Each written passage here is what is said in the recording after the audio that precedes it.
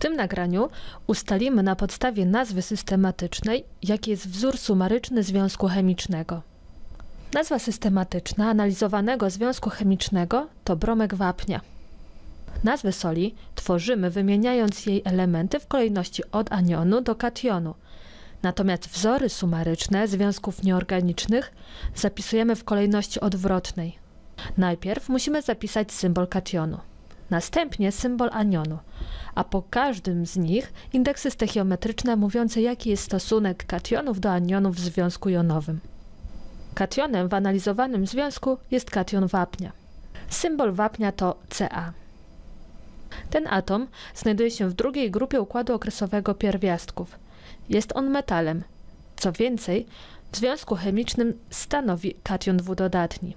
To wszystko podpowiada nam numer grupy w układzie okresowym pierwiastków, w której znajduje się atom wapnia. Teraz przejdźmy do anionu. Mamy tu anion bromkowy. Brom znajduje się w 17 grupie układu okresowego pierwiastków, więc do oktetu elektronowego atomowi bromu brakuje tylko jednego elektronu. Brom tworzy anion bromkowy, dokładnie jednoujemny anion bromkowy. Wartościowość bromu w tym związku wynosi 1, natomiast wartościowość wapnia wynosi 2. Zapisując te wartościowości na krzyż, otrzymujemy indeksy stechiometryczne w związku chemicznym. Jeśli masz jeden element w strukturze związku chemicznego, to nie piszesz indeksu stechiometrycznego dla danego atomu.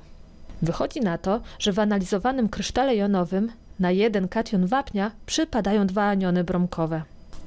Sprawdźmy, czy ładunek tak utworzonej soli oby na pewno się wyzeruje. Anion bromkowy jest jednoujemny. Mamy tu dwa aniony bromkowe, co daje minus 2. Natomiast kation wapnia jest dwudodatni. 2 plus minus 2 daje 0. Wszystko się zgadza. Wzór sumaryczny cząsteczki to CaBr2.